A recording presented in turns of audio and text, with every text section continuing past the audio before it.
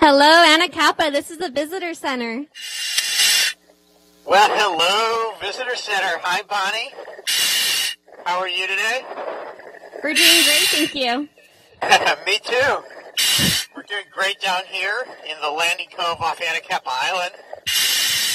My name is Ranger Dave. I'm a park ranger here at Channel Islands National Park, or as I like to say in these programs, underneath Channel Islands National Park. And I want to welcome everybody watching today to Channel Islands Live. So we have a group in our auditorium in our visitor center in Ventura, including kids from the Ventura Sail and Kayak Camp. So Bonnie, let me hear a big hello from everybody in Ventura. All right. Fun day out there enjoying the ocean, and now we're going to show you a little bit about what's underneath it. We also have visitors here on Anacapa Island, and our moderator on the island, Kathleen. Let me hear a big hello from everybody who came out today on the Vanguard to visit Okay, Anacapa. everybody out here, say hello. Hello, everybody. And welcome to all of you watching us live over the internet as well. And a big thank you to our tech partners, Ventura County Office of Education and Explore.org for helping make that possible. And I'd also like to dedicate this program today to a very special friend of ours, Joe, part of our team, always down here with us. You, Joe. Well, welcome. So here we are in the half of Channel Islands National Park that is seldom seen. Half of this park is underwater. We're not just comprised of five islands, but also the waters that surround them. And also these waters are part of Channel Islands National Marine Sanctuary. So these are protected waters. But the spot that my cameraman Josh and I and our support divers are diving in today is also protected because it is part of a marine reserve. It might be surprising to you that fishing is allowed in a national park and marine sanctuary, but only 20% of the waters surrounding the islands that make up this park are protected from fishing. And this particular spot has been protected as a reserve for over 30 years. And it means that this spot has a more naturally functioning ecosystem than areas around here that are not protected in the same way where fishing occurs. It also makes it more resilient to changes that occur. And we're going to see a couple of those changes today. But it's not completely immune to outside influences. And so we'll see what some of the threats are, even to this area, and maybe some of the things that you all can do, simple little things to help protect not just this area, but the oceans in general. So Bonnie, let's start with our audience in Ventura. And I'm diving in a forest. Can you guys shout out what kind of forest am I diving in today? Forest. Now, a lot of people are familiar with kelp from the big piles of dead, rotting kelp that wash up on the beaches in Southern California. And they actually do serve a purpose. They're food for some animals. And down here in the kelp forest, it's a very different experience with kelp. You can see these beautiful shots Josh is giving you of how it flows back and forth with the water, streaming towers of golden kelp down here. And the kelp you see is one of many species that are down here, but it is the primary structure of this forest. And it's perfectly adapted to this underwater environment. And I'll show you a few ways how it is. So on land, where trees are the primary structure of those forests, the trees typically have stiff, rigid trunks. But here underwater where the ocean is moving all the time, and there's a little bit of surge that's picked up since we've been here today. An adaptation that kelp has is that it has flexible, pliable stipes as opposed to a rigid trunk. And so it can flow back and forth with the motion of the ocean. It also has leaf-like blades, and these and the stipes can draw nutrients right out of the water. How many of you think kelp has a root system to pull nutrients out of the sandy bottom here?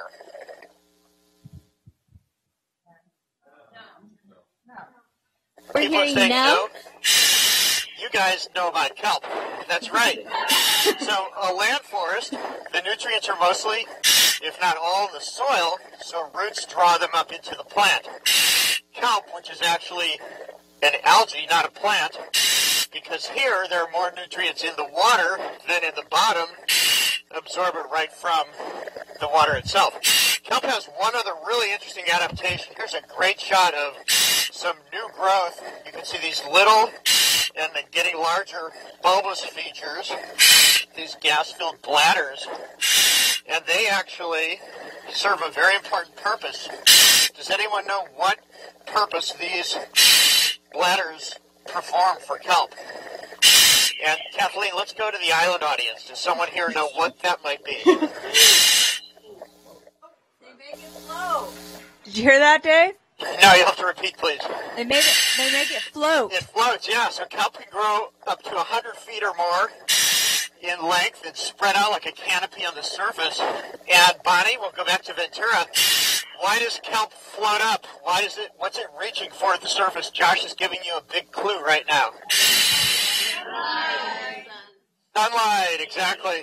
So even though we're underwater, different environment, sunlight is really the beginning of the food chain of the web of life here. And kelp uses that process that I think you all know about called photosynthesis, just like land plants do, to convert sunlight into energy. And it brings it down here into the kelp forest. And it's the beginning of this intricate web of life with over a thousand different types of plants, algae, and animals that rely on kelp and the kelp forest for both food and habitat. And so today, we're live. We never know what we're really going to see, but we're counting on our support divers to find some of those animals that rely on kelp and see if we can take a look at how they've adapted to life in the kelp forest. So why don't we, let's see, Josh, I'm just looking for a really nice spot. Maybe we'll drop down, how about over here? And we'll see what our divers have. In fact, I see right now that our support driver, Julian, and let me bring him on in, has found one of the animals that gives us a little bit of the story about how the kelp forest functions. And so he's just making his way in. And while he's doing that, I'll pick up this little bit of drift kelp. And thank you, Jillian. Actually, I don't need the drift kelp because this urchin has it. So you can see this is a sea urchin. Does anyone know what kind of sea urchin I'm holding? Bonnie, how about someone in Ventura?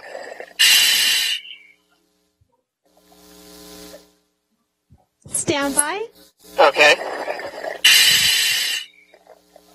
Spiny black. Spiny black's a good question, a good answer. Spiny for sure. It's actually a red. yeah, it is. It's a red sea urchin, and these are very common here. This is. Julian also found this. This is called a test. It's actually a shell, so this is what's inside, and you can see all the little little dots on it is where the spines hook into, and on the bottom you can see the hole. That's where the mouth would be. So this is the inside. I'm going to put this down and show you the living animal. These are grazers. So this urchin has actually caught a little piece of drift kelp, just like I did a minute ago. But I'm not going to eat that kelp. This sea urchin probably is going to eat this kelp. These spines are somewhat flexible, and it can move that kelp around. And I'll show you what the mouth looks like let me know if you can. Kathleen, are we able to see that mouth? Yeah, you got a good picture of the Okay, mouth. Good. And so it'll actually move. I don't see it yet. Can you see it? Yeah, I can now. Okay. So it'll actually move that kelp to the mouth, and it will use its tube feet and its spines to get it around there, and then it'll eat the kelp. So this is a grazing animal, and while it doesn't look like something you might want to eat, there are fish down here. There's one called a sheephead in particular that can bite through these spines and eat that urchin. But who else eats urchins? Bonnie, does someone in Ventura want to give a guess as to what other animal likes to eat sea urchin? Starfish? Uh, Someone this morning said the same thing. Sea stars don't really eat sea urchins. They'll eat mussels, things like that, but not not sea urchins. People. People. That's a great answer. People.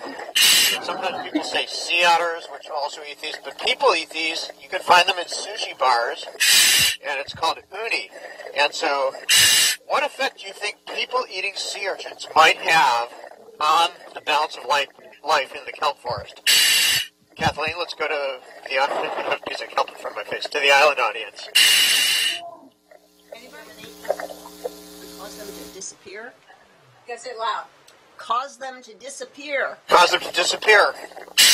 So, if we take too many of these out of the areas where they're allowed to be fished, not here in the reserve, they'll disappear.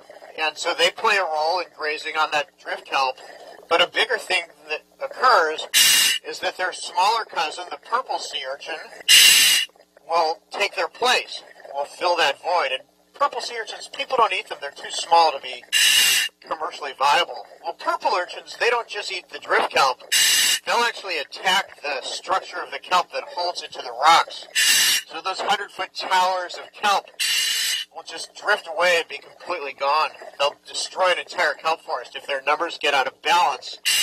And so fishing, overfishing I should say, is one of the threats to the kelp forest. Luckily we're in a preserve, and if people follow the rules, this area will be safe from that. So I'm actually going to give this urchin back to Julian because we don't want to do any damage here, and I don't want to give one of those sheephead a free lunch. So we'll put that urchin back in a crevice where it'll be nice and safe. And while we're doing that, I'll bring Julian right back in.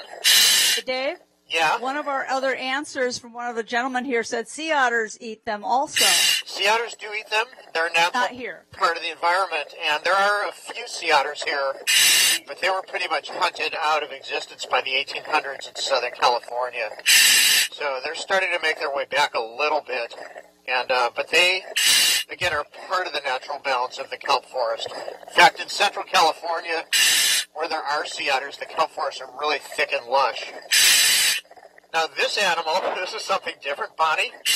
Let's go to Ventura. Does anybody have a guess as to what I'm holding in my hand? A sea snail. Sea snail's a good guess, but there's no shell on this guy. Anyone else? Sea slug. Sea slug. So this is called a sea hare. It's a type of sea slug. It actually does have a micro It's sort of that link between sa- snails and slugs. And you can see its rabbit-like ears, which is why it's called a sea hare. And this is also a grazer, and people don't really eat these, so it's not really threatened by fishing, but it is threatened by things like if the water temperature were to change too much, it's adapted to this water temperature here in the 50s and 60s that kelp thrives in as well. But an interesting thing about sea hares is that they will lay a lot of eggs.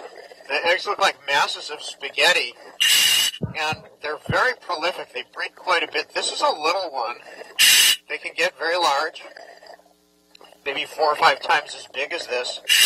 And it's said that if every sea hare leg egg, every sea egg laid, hatched and grew to maturity and laid more eggs, there's a little water moving on us, and all those eggs hatched, it would only take about six months to co- cover the entire planet, several feet deep in sea hares. So that's a lot of sea hares. Most of those eggs turn into food for other animals. That's part of life in the ocean as well. But it's another part of the story of reserves because the larger most sea life gets and the older it gets, the more it reproduces. And so allowing animals like this to grow to maturity and become large helps to keep the oceans populated with animals, helps to keep the balance of life in the proper perspective. So let's go ahead. I'm just going to put this sea down and let it get back to grazing. It's actually, it's stuck pretty good onto my club, but once I put it on the ground, it'll release and there it goes. I think it's already eating. and um, so we've seen a couple of the animals so far, and we've talked a little bit about one of the threats to the kelp forest, which is overfishing. Bonnie, does anyone in Ventura have any ideas as to what another threat might be to the kelp forest? Another threat to the kelp forest? Pollution. Pollution, yeah, that's a big one. So we're offshore, and oh my God, while I'm talking, Andrea's found something really interesting. So let's come back to pollution, and in the meantime, let me go ahead and get a hold of this animal. Thanks, Andrea. So everybody just shout out. I think you all know what I'm holding here. Shark. Shark. And this in particular is called a horn shark.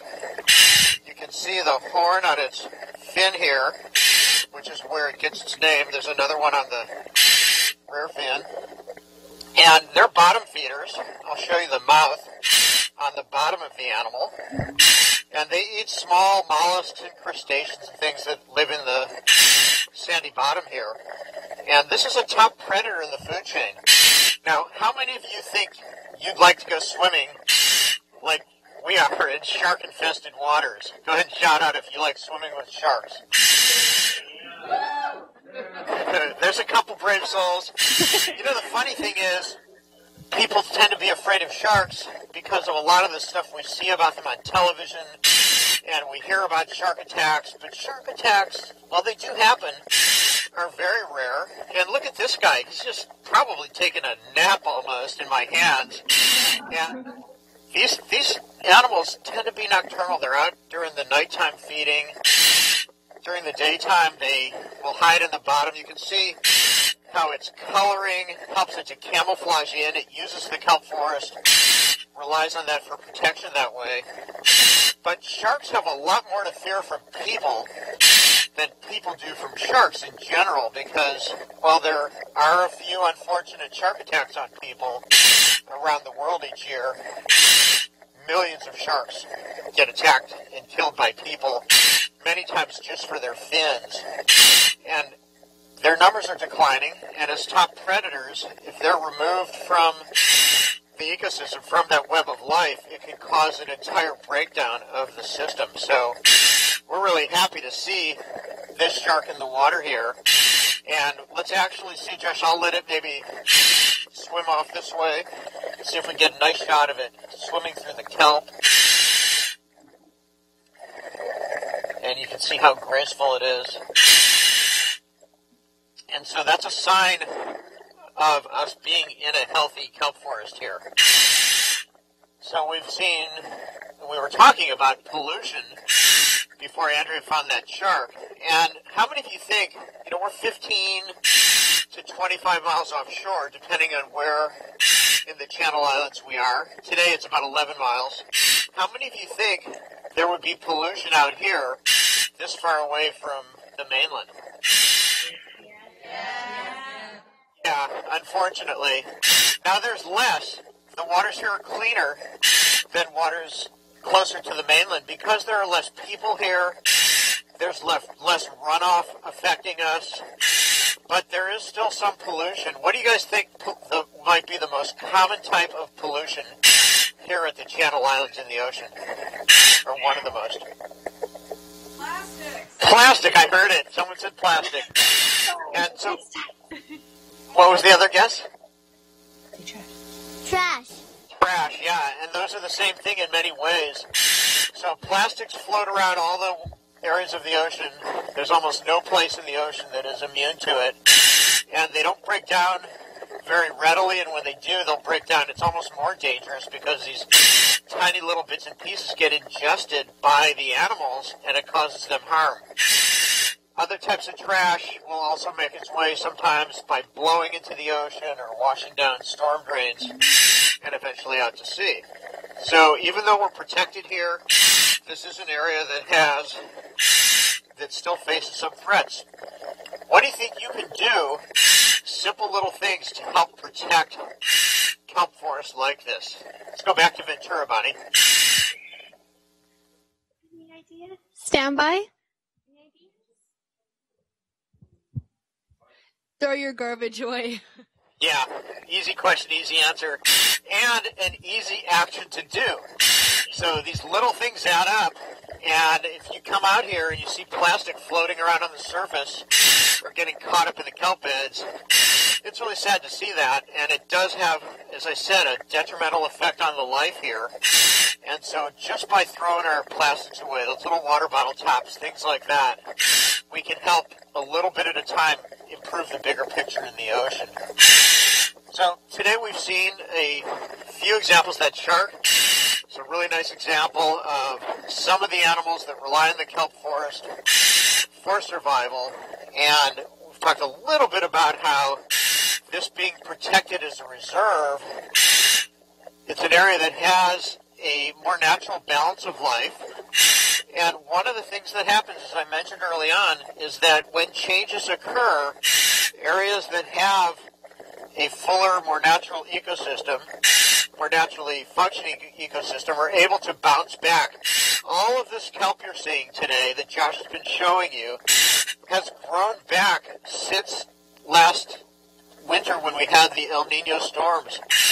Warming waters and big surge killed off and tore up all the kelp, and all the animals that rely on it were affected by that. But this area has come back so quickly once the water's cooled that we once again have a lush, thriving kelp forest. If this area were not protected the way it is, it would be harder for it to come back during these changes that occur in the cycles of weather and atmospheric cycles down here. So I hope you all have a better understanding after seeing this as to how marine reserves do help to protect the diversity and abundance of life down here. And that's important to all of us, not just those animals here, not just us today participating and watching this program, but kelp that's all around me here and other marine algae actually provide much of the oxygen that goes into the air we breathe. So I'd like all of you to take a deep breath along with me and realize that a lot of that air you just breathed, a lot of the oxygen came from healthy kelp forests. So I encourage all of you to do what you can, throw your trash away properly, do what you can to help protect the ocean for all of us now and for future generations as well. So for those of you in Ventura, I know you're eager probably to get back out there in your kayaks and sailboats and enjoy the harbor and the ocean. Go play on the ocean. And for those of you here on Anacapa, I'll see you on the surface in just a moment. Thank you guys for joining us today. Say goodbye. For Channel S Live. Bye-bye. Bye.